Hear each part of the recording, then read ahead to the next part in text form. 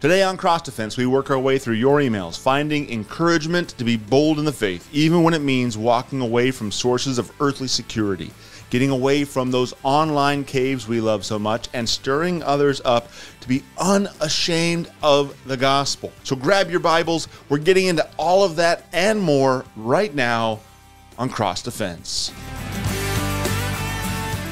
Welcome back to another episode of Cross Defense. This is the show that aims to equip the mind, excite the imagination, and comfort the soul, and aims to do all of those things with God's Word. I'm your host, Reverend Tyrel Bramwell. I'm the pastor of St. Mark Lutheran Church out here in Ferndale, California. If during the show, my friend, you'd like to send us your comments, your questions, your bits of biblical brilliance, well, we would appreciate it. So go to stmarksferndale.com slash contact. That's S T M A R K S, ferndale.com slash contact. St. Mark's, ferndale.com slash contact and drop us a line. You can also find St. Mark on Instagram and Facebook. Look for the Winged Lion logo. And I'm on YouTube. That's where we host our Winged Lion videos. You'll find at least one of those mentioned today in the comments from the inbox, one of you guys. So, other cross defense listeners like those other series as well, you might too. Have a look. All the links are in the show notes below, so you can just click them and jump to wherever you want to go. If you have a general comment and you want to rate or review the show on the platform that you use to listen to this podcast, well, we'd appreciate that too, friend.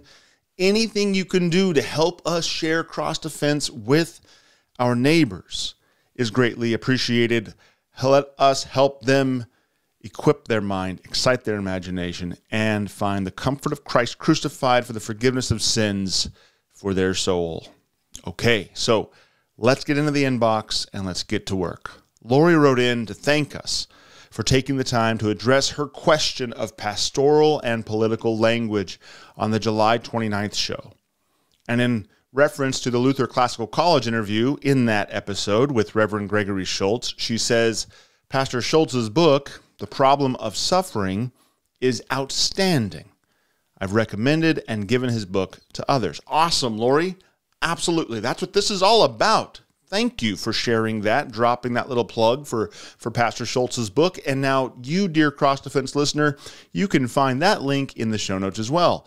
Reverend Schulz's book will be a blessing to you and to yours should you give it a read. Chandra wrote in regarding the July 15th episode. She said, I enjoyed your video with Jordan Peterson, Molding Faith. Thank you.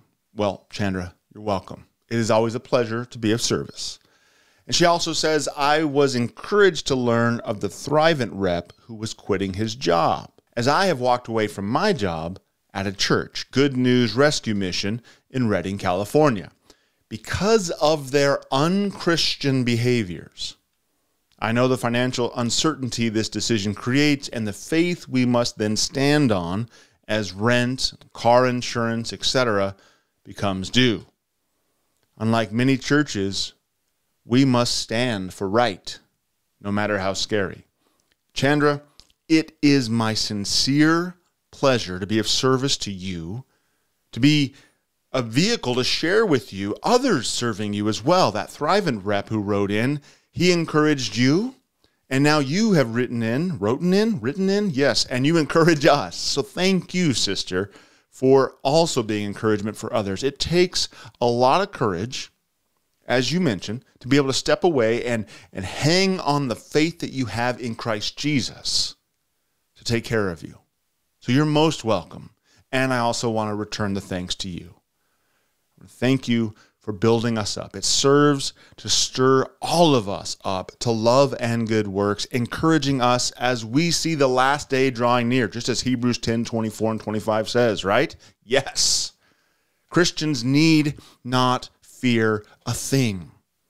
We are staked to Jesus. Our God is good, as you know, as we all know, as Christians know. And we need to hear that over and over and over again because the devil would like to, to make us forget that. He would like to push that out of our hearts and minds. But no, sir, it's not happening.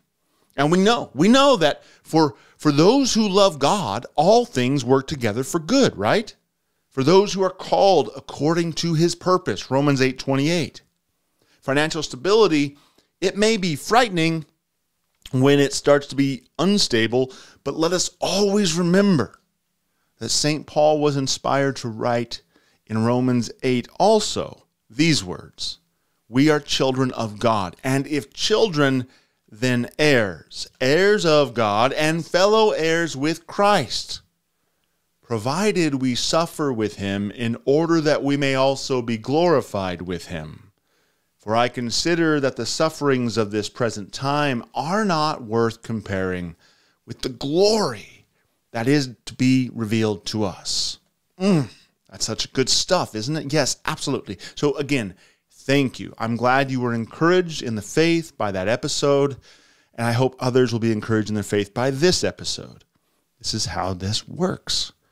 We got a little economy going on, don't we? And it's a blessing to be of service, just as it is a blessing to be served. Absolutely. Christ be with you, sister. Thank you so much.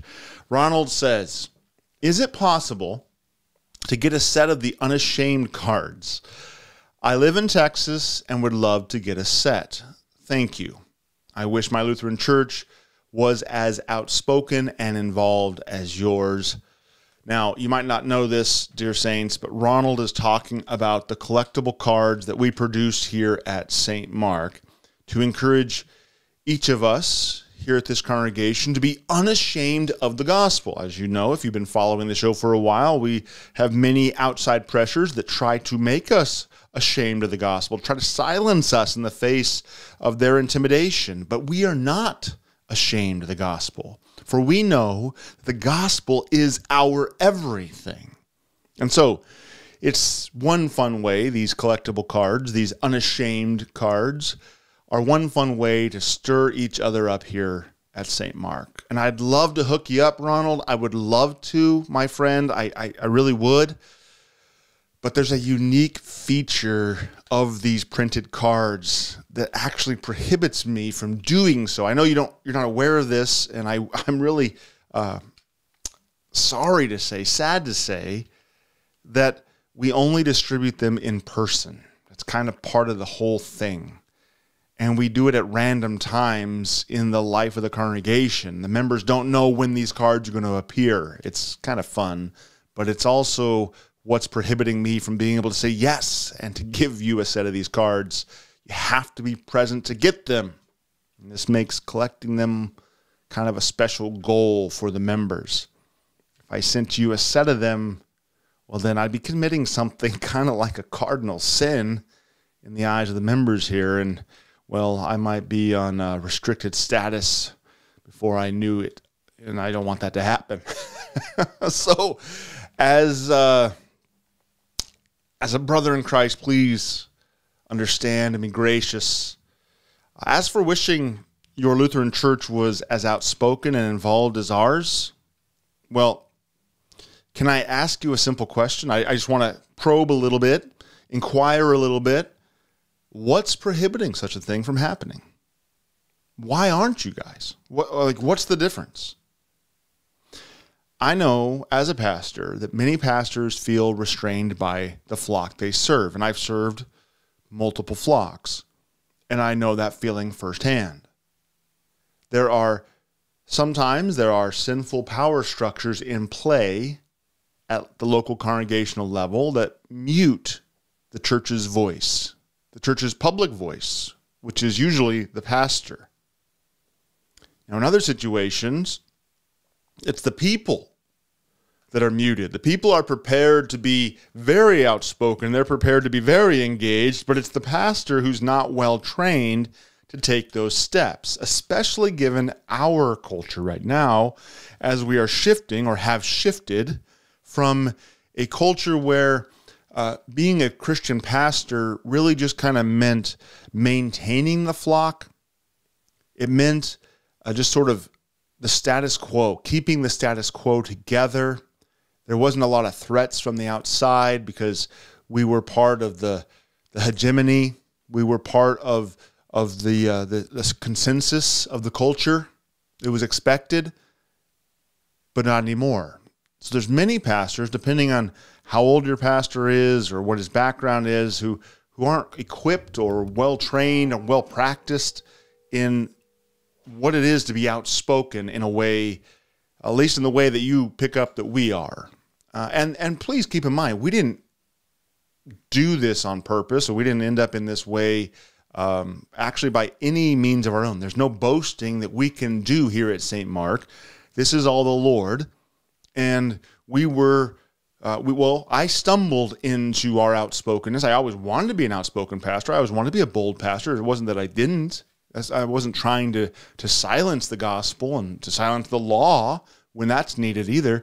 But in this particular case, here at St. Mark, I didn't know the reaction our sign was going to get when I put up the sign that set all this off. We were using our sign to speak boldly. Yes, we were being outspoken in that way. And we were involved in other ways. Um, you know, things like writing my Wozelwood books and, and different things like that. I, we've done stuff like that.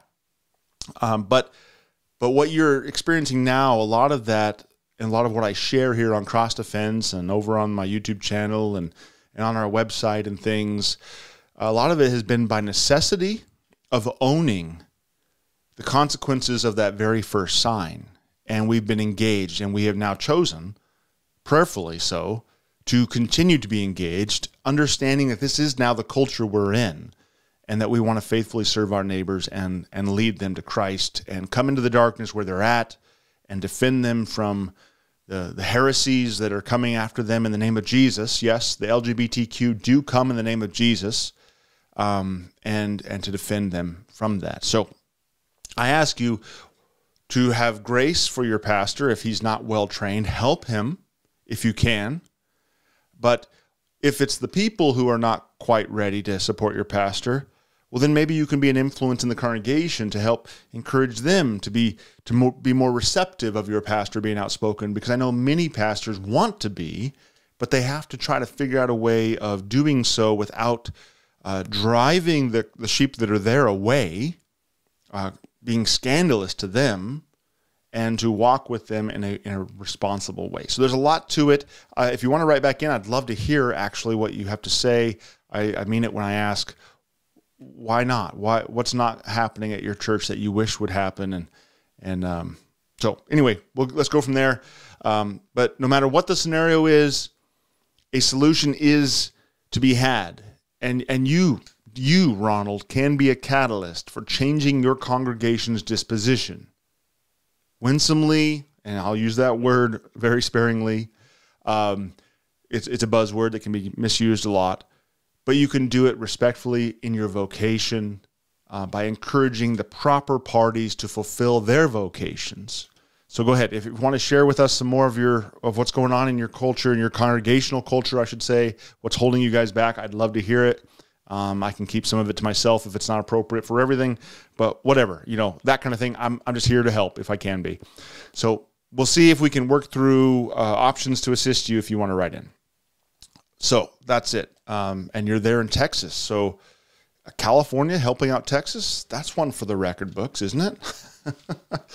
All right. So Samantha says, thanks for writing in, Ronald. And sorry I can't be uh, assistance on the cards. But if you do come to Ferndale, I'll be happy to hook you up with uh, what I can if you make a trip out here and things like that. So if you're ever present locally when we're handing out a card, you'll certainly get one. I'm glad you like them. Okay, so Samantha says, Good morning, Pastor Bramwell. I love listening to Cross Defense. Thank you. That's humbling. You really help equip me to be more willing to take on tough conversations with peers. Oh, awesome, sister. Go get them. Go get them. So thank you. No, thank you. You're most welcome, sister. You're most welcome. God be praised. You know, it's all Him. Absolutely. As I say on this show on a pretty regular basis, I am a broken shovel. You are a broken shovel. We are not only tools in the garden, but we are broken tools. We're destroyed tools. We're rusted out, junky tools. And yet somehow God can work through us and He makes things come about, doesn't He? It's great. It's glorious. It's a privilege. And we give Him thanks and praise for all that He does. You, uh, you said here, Samantha continues to write, I am a public school music teacher. I worked in a larger city for a bit and am now in a rural community, but public school nonetheless. I'm a firm believer that we need Christian teachers in public schools because we understand our place in the lives of students. And many are from low income households that cannot afford private school. But as a confessional Lutheran, it's difficult to see public schools crumble. So, how do I continue in my vocation when I see public schools broadcasting their woke ideologies? Samantha's email came in after the August 5th show where we talked about pulling our kids from public schools. We took a look at the uh, LCMS founders and how they came over here from Saxony to get their kids out of what they called Sodom and Gomorrah and how we've uh, returned to that. We have that going on again. And, you know, I'm super glad to hear of Lutherans who want to serve their neighbor. When they talk about their vocational uh, office and understanding their vocation as confessional Lutherans. It is a blessing to know we have people out there who want to serve their neighbor. So, Samantha, thank you for writing in. We're going to take a break right now. And when we come back, we're going to get to the answer to your question as best as I can give it to you, not knowing your particulars. And um, in the meantime, if you want to write in for you know, us to answer your question here on this show, you can do that by going to stmarksferndale.com slash contact. That's S T M A R K S, ferndale.com slash contact. We'd love to hear your question. And if at all possible, to be able to answer it for you, or at least give you some guidance that your pastor can work with there locally. All right, let's take our break. We'll come right back for the second segment of Cross Defense.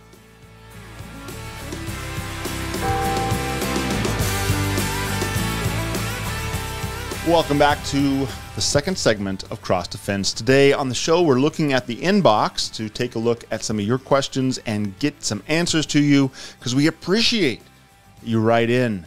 You're part of this conversation, and that's the way you can do it, and this is the way I can do it, and now we're talking. So it's great. Thank you very much. We're considering what Samantha writes in as she says she's a public school teacher and she wants to be able to maintain her vocation as a public school teacher in service to the students but the public schools are broadcasting woke ideology. So, what does she do? And I'm super glad when I hear that we have confessional Lutherans peppered in throughout the public school system for the same reason, dear friend, that I'm glad when I look over at the car passing me in traffic when I'm driving down the road, driving up the 101, heading into Eureka. I look over and the car's zooming past me I'm super glad to see that there's a driver in that car, right? Yeah, it's really good.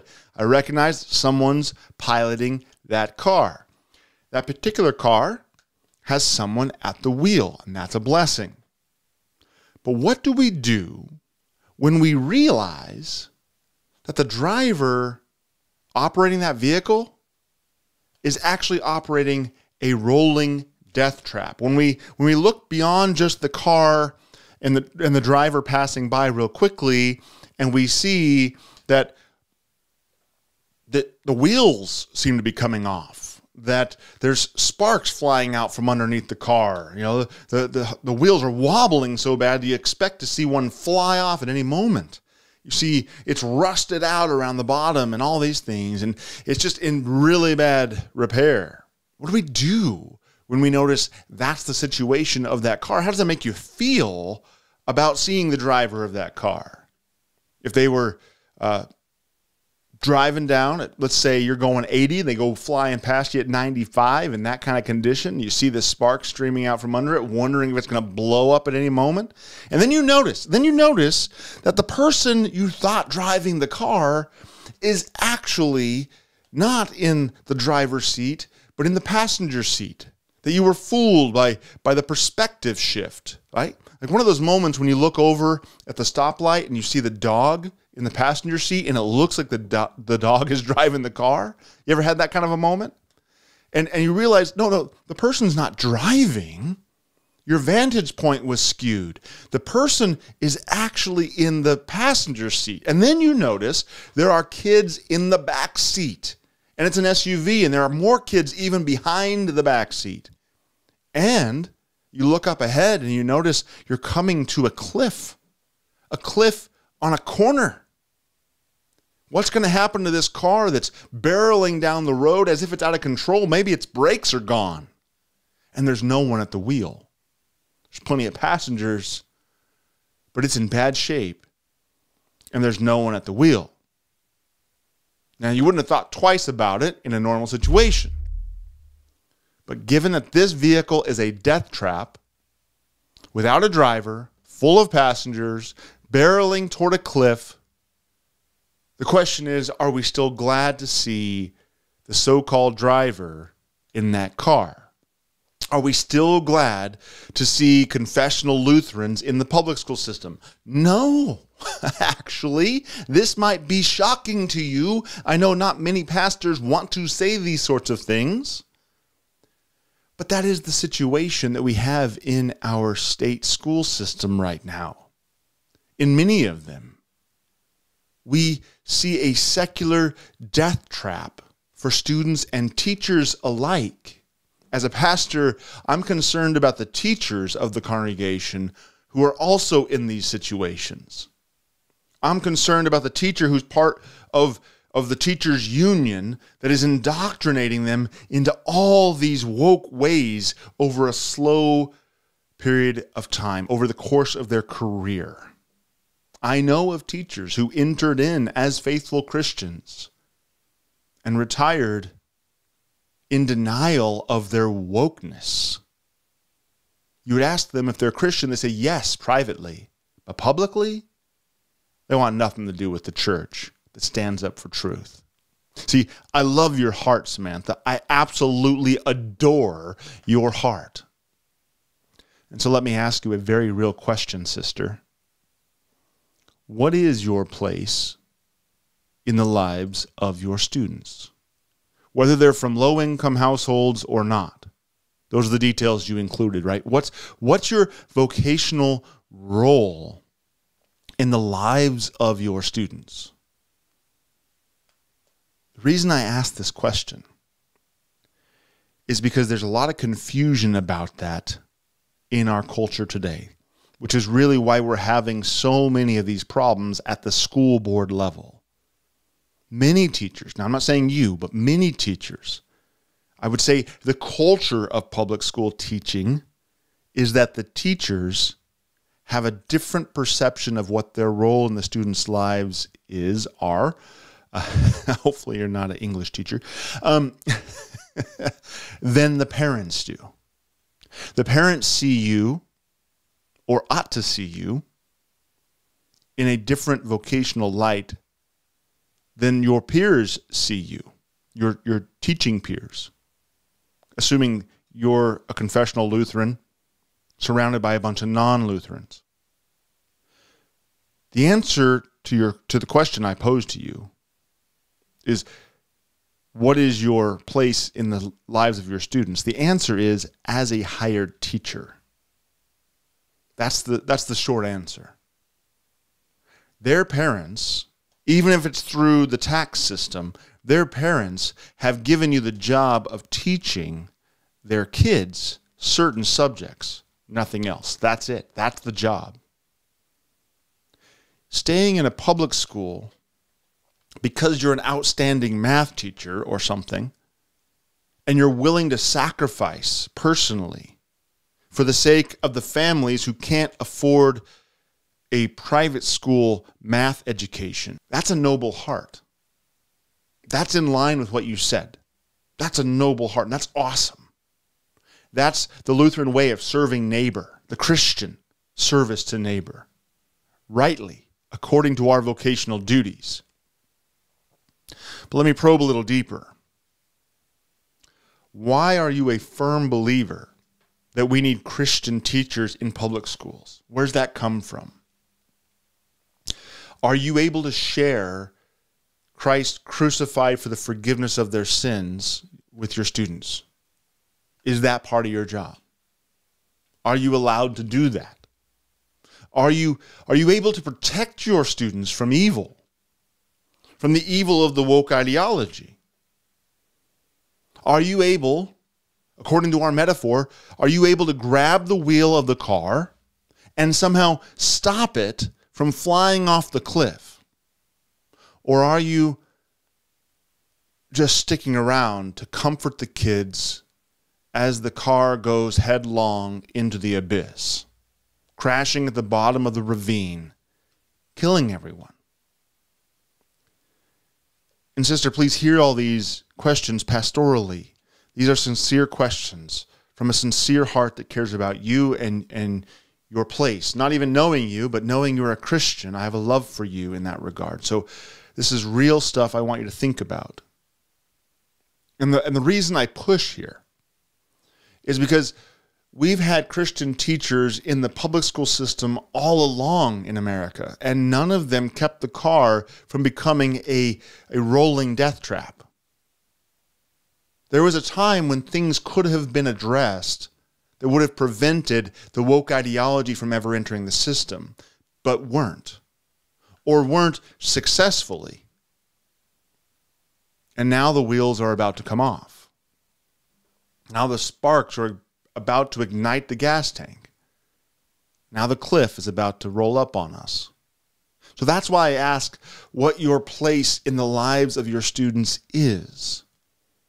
Because you might be burdening your own conscience unduly without even realizing it, trying to be a loving neighbor to your neighbors, a Christian neighbor to your neighbors, trying to love them the best you can, but not realizing that maybe you're doing more than you even are supposed to or need to.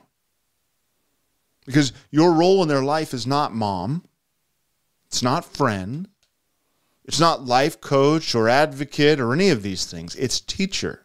And not teacher in the biblical sense, not, not pastor.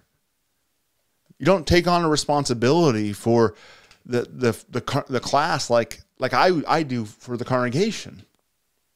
It's a different role. Yours is one a, voc- a vocation that is hired by parents to teach their kids math and biology, grammar, etc. If all the Christian teachers, get this, this is awesome.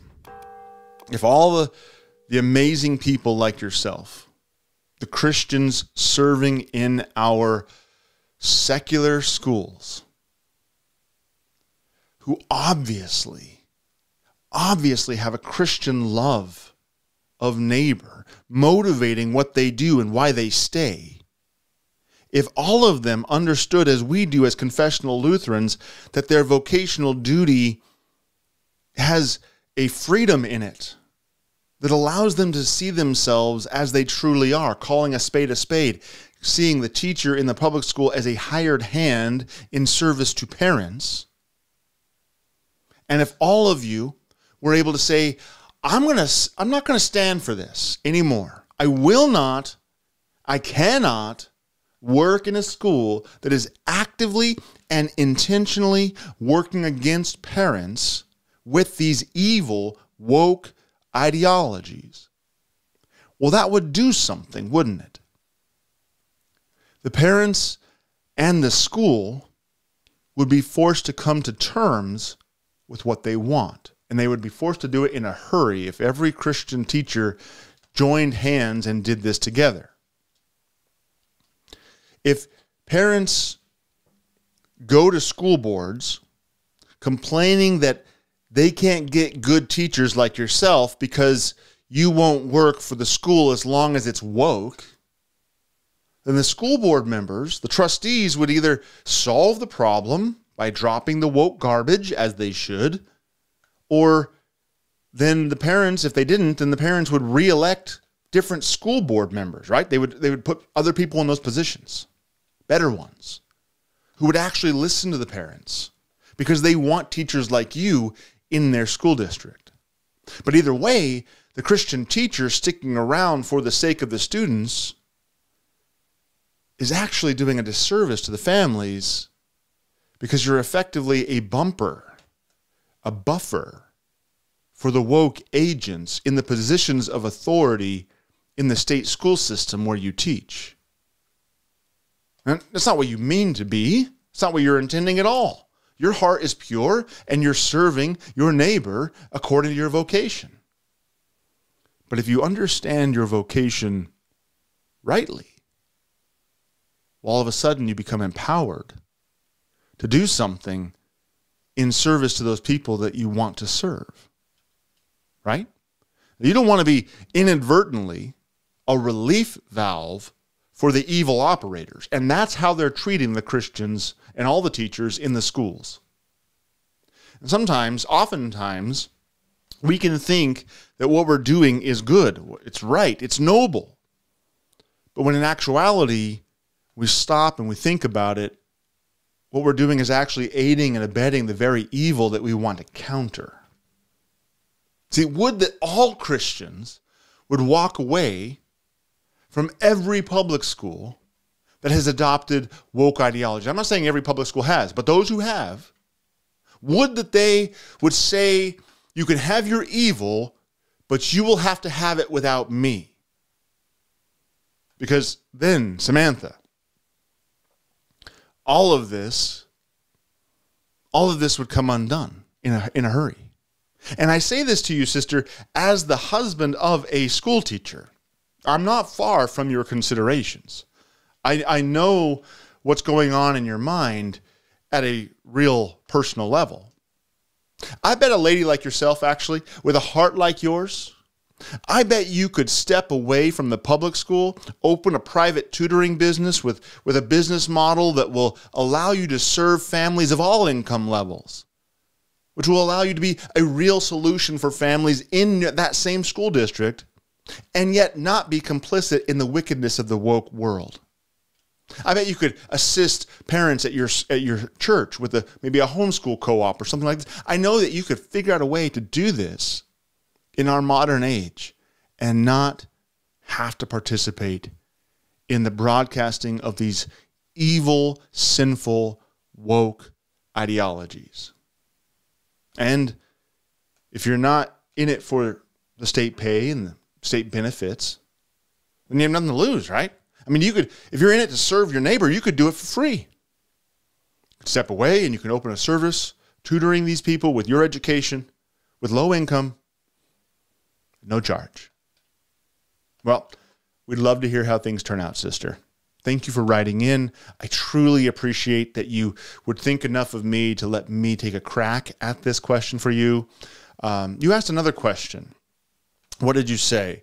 You said, one more question, completely unrelated to the above.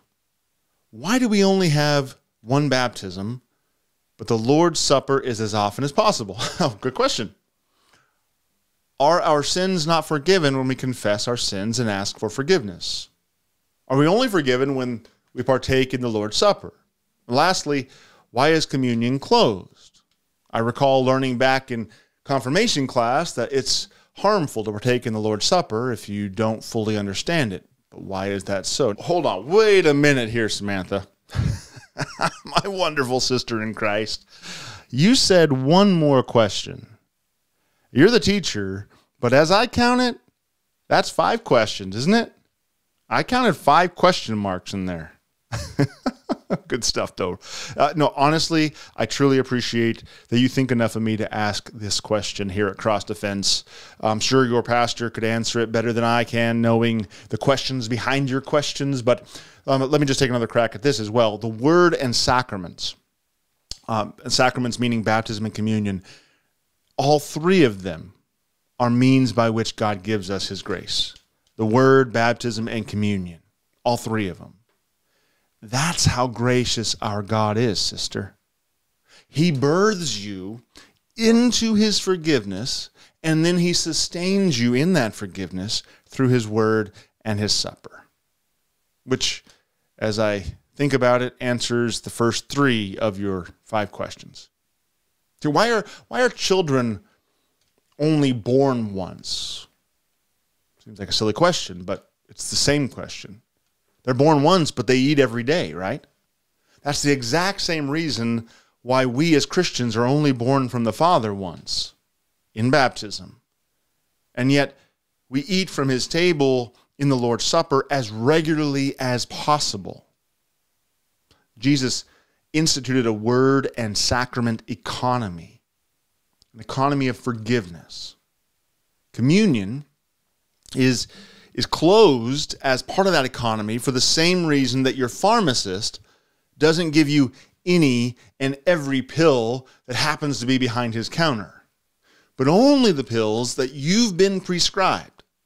And only after you've been consulted, after you've gone to the consultation window to learn what it is that you're eating so that you can eat it to your benefit and not to your harm. Make sense?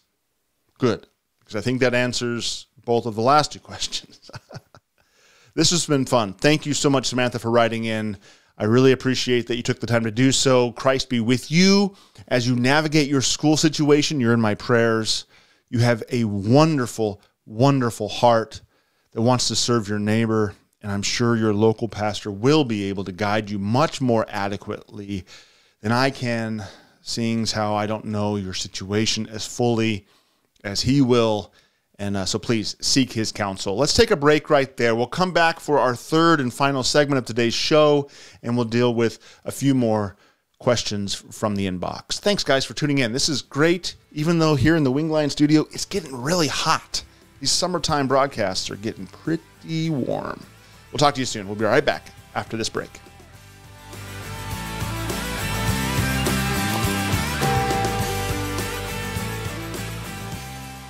All right, welcome back to Cross Defense. Let's get right back into work here. Going into the inbox, Brian writes, Pastor Bramwell, thank you for your continued messages that you share. These are helpful things for those of us in internet land. While perusing your archive of videos, I was intrigued by your episode 10 on KNCL Facebook idleness. While I understand and agree with your premise of not actually interacting with real people, i.e., those around you, I wonder what should someone do that doesn't really have much around him to interact with on the level that some of those good theological conversations online can provide. In other words, would it have been a bad thing if Elijah was able to chat with the other 7,000? Thank you for your time and again for the teaching that you share online. And if you happen to answer this on some episode, could I ask for a ping back? yeah, absolutely. Just so I can know to listen. The Lord be with you as you fight the good fight in Ferndale and Humboldt County. Absolutely. I'll send you a, a little uh, email message here, Brian. So hopefully you got that and you're able to listen. Great question, brother. So let's read 1 Kings 19 1 to 18 and then take a crack at answering your question. Ahab told Jezebel all that Elijah had done and how he had killed all the prophets with the sword. And then Jezebel sent a messenger to Elijah saying, so may the gods do to me, and more also, if I do not make your life as the life of one of them by this time tomorrow. Then he was afraid, and he arose and he ran for his life and came to Beersheba, which belongs to Judah, and he left his servant there.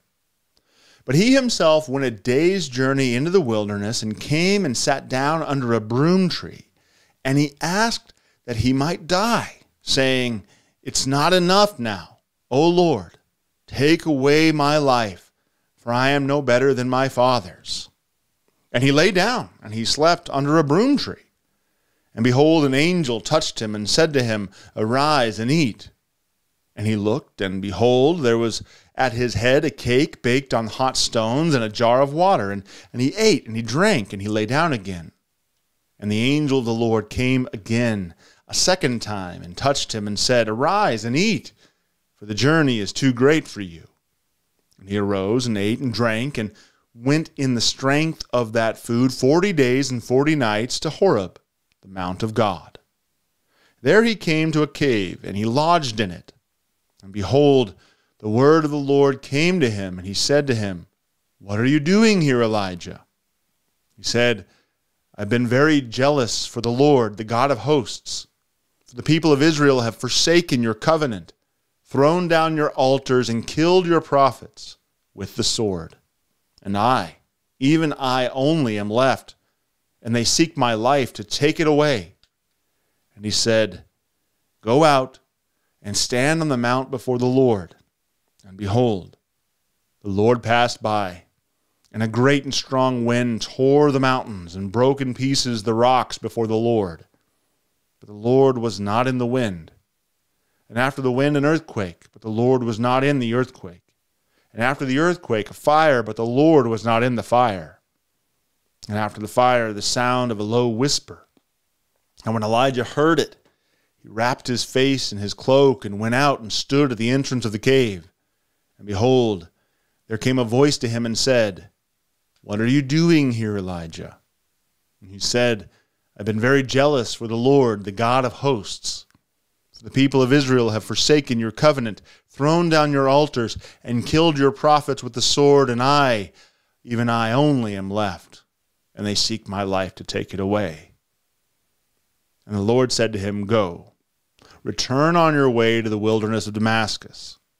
And when you arrive, you shall anoint Hazael to be king over Syria, and Jehu, the son of Nimshi, you shall anoint to be king over Israel. And Elisha, the son of Shaphat of Abel Meholah, you shall anoint to be prophet in your place. And the one who escapes from the sword of Hazael shall Jehu put to death, and the one who escapes from the sword of Jehu shall Elisha put to death.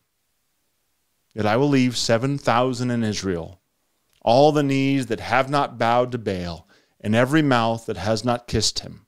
For the sake of all the other listeners out there in internet land, those of you besides Brian who already knows what we're talking about, I hold the premise that being together in real life is far better than simulating togetherness via social media.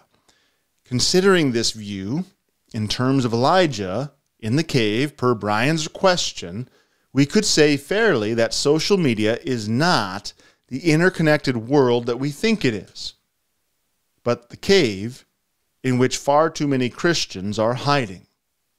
Where we, we think we're carrying out our Christian duty, our Christian vocation, our call to encourage one another and stir one another up in the faith in these high level theological conversations, but are in fact being hindered by the illusion of interconnectedness that is severely disconnected. Hence the title of the episode, Facebook Idleness. That we can be doing so much work on Facebook that we're not doing any work in real life. So let's start with the Lord's question to Elijah in the cave. What's he say? What are you doing here, Elijah? To which we might say, in the manner of Elijah, I've been very jealous for the Lord, the God of hosts. God, your Christians have forsaken your covenant, and they've rejected your word for sparkle creeds and false peace and, and temporal comfort, and, and they persecute your faithful pastors. And I, even I only, am left, and, and they seek my life to take it away. So, so I'm here on the internet, out of harm's way to preserve my life but, but where I can chat with the remnant of other Christians who, who are also holed up in their own caves where they're at. To which our Lord might say something like, Stop hiding in this online cave. Why? Because of the ordering of the account. Notice, God tells Elijah about the 7,000 after he tells the prophet to return on his way to the wilderness of Damascus. He tells him to go and get on with the anointings. And then he says, Oh, and Elijah, you're far from the last faithful guy out there. So, would it have been a bad thing for Elijah to be able to chat with the 7,000? Well, yeah, given that he didn't know about the 7,000 until at the very end of the story, right? given the sinfulness of man, I think it would have been a bad thing. Let's say, at the very least, to be gracious, it could have been a bad thing. Brian, excite your imagination with me, brother, and think about how social media makes us feel like we're doing the thing when really we're avoiding the thing. And that's the whole premise of that video, right? KNCL 10, cancel Christian comment number 10. That's my argument about the Facebook idleness. But the Elijah comparison aside, I want you to know, friend, that I hear your wonderfully honest question. And I don't think your question actually relates that much to Elijah because Elijah has a fear aspect to it, and you're talking more of a disconnect from resources. You ask, what should someone do that does not really have much around him to interact with on the level that some of those good theological conversations online can provide? So I think it's actually a, a completely different type of question than the one the Elijah scenario can answer. I'm still going to say that you would be far more enriched with a lower level theological conversation in person than the higher level theological conversation on what is essentially a high speed telegram service, messenger, chatting. You are going to be far better served with real human interaction than you are on the best online conversation, theological or otherwise. That's my that's my my place, my position. My suggestion to you, brother, is to be like the old school pastor. The guy who was called from the seminary to serve a rural parish out on the farm somewhere. What did that guy do to remain a part of the high level theological conversation when there was nobody around him to aid in that endeavor and the internet didn't exist? What, what did they do to stay stimulated and to stay engaged and to stay sharp? Church. Church throughout time and space, right? He gathered in real life with real humans and he read the Bible. And he read books about the Bible and about creation and about all the different things going on in the world. He read. See, that's where high level theological conversations are truly had. Coming together in real life, where real human beings are wrestling with real sinful problems and real hurts and heartaches and joys and celebrations and having all of that context of not living in a cave and then being able to read the Bible and other great works where the conversation is being had. So I would say to you, brother, read the great books of the Western world and join in that, what they call the great conversation. Read the good, timeless words. Read the Christian works. Join the theological conversation throughout all history. Read Luther, read Augustine, read Ambrose and Polycarp. Read, read your pastor's sermons. Ask him for that kind of stuff. Talk to your pastor. Use the internet to access those kind of voices since we do have that tool. And then log off. Turn off this podcast and spend time with the real people God put in your life wherever He planted you.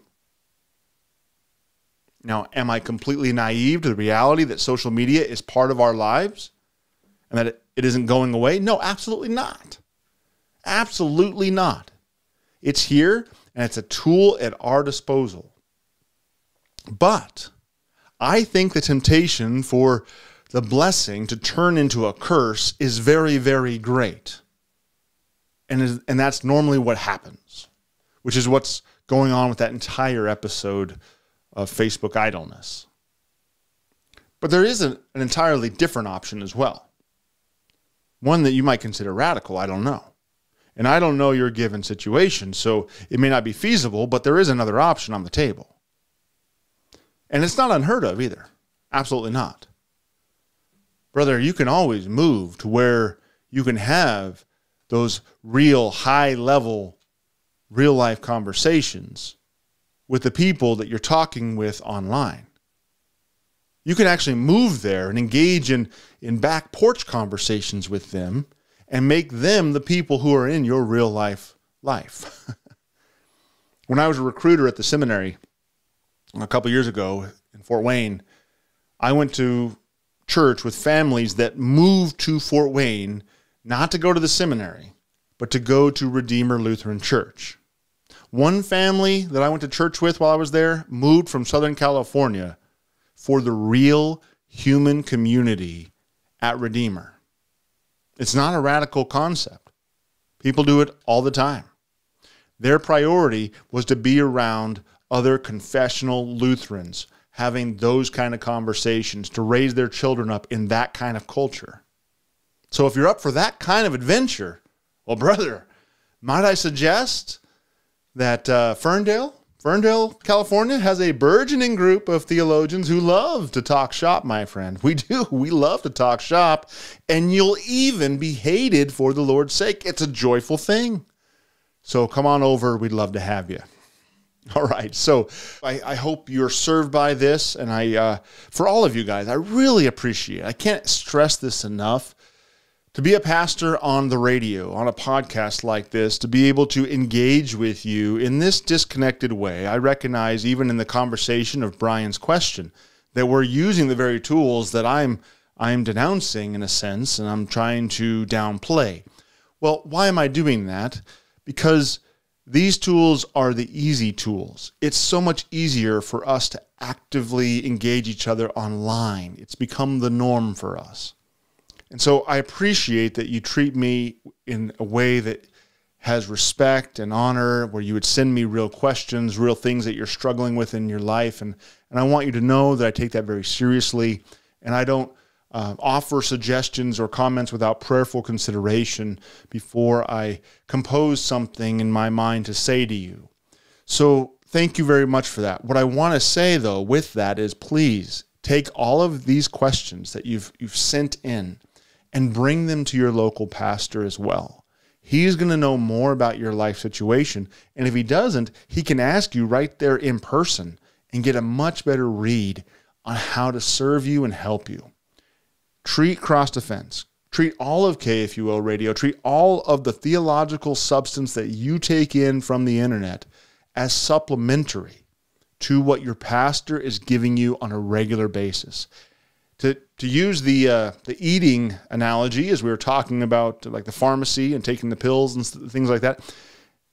These are vitamins. Cross defense is a vitamin, which your pastor can give you in the sermon and in Bible study and in his one-on-one conversation with you. That's that's the dinner. That's the full meal. That's the hearty, meaty stuff. So bite into that and spend your time in the Word. And and in the word with your brothers and sisters there in your local congregation. And then treat this as a supplement. Thank you so very much for all of your, your wonderful emails. We got many more to get to, so we'll be adding those into the lineup here in the future. Thank you again for your comments, your questions, your bits of biblical brilliance. You have them. I know you have them. So excite that imagination, equip your mind, and I hope that Christ is the comfort for your souls, that you receive Him every Sunday, week in and week out, and know that you are forgiven child of God. If you find value in this, if you wouldn't mind sharing it with others, that they too could find comfort of Christ, that they too could be built up with, with thought out theological questions and answers and conversation about various things happening in our curious, crazy culture, well, I would appreciate it. All of us here at KFUO greatly appreciate it. Until next time, I'm out of time. So Christ be with you.